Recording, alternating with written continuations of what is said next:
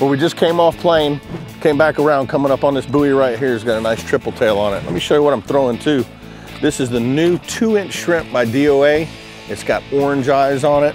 Got a few different colors of them, but uh, two inch shrimp throws great in the wind, has a great action to it. But uh, can't wait to catch another one.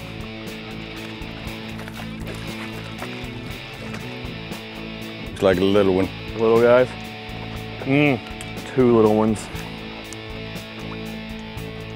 How little are they? Oh, he jumped out. he jumped out of the water and got on the buoy. I've never seen that. That was funny.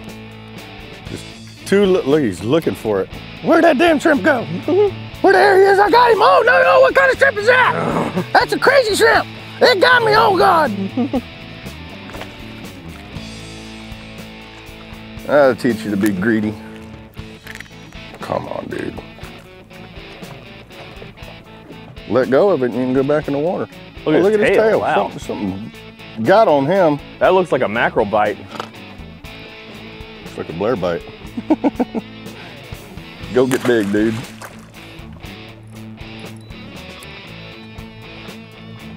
Where is he? Oh, he's on the other side. Oh, I see him there. Just got his head poking. Out. He's not that big. We'll educate him on a DOA. Oh, he wanted it. Ew, right off the bat. Man, that didn't take up, nothing. Ah, Just can't pass up catching a fish. they like that one. Hey, let me jump down from up here. I'll help you out. Woo! yeah, I think he'll make a 15 inch. Oh, yeah. Gotta be careful with these guys, for sure. Oh! Careful with them fins. Gotta brother. watch him. Gotta be careful when you grab these guys. Yeah, and they have a. It's not a real bad fungus that they get on their uh, on their dorsal there, but it is a it's a nasty slime and it'll get you infected really bad. Oh! Oh well, send him on his way.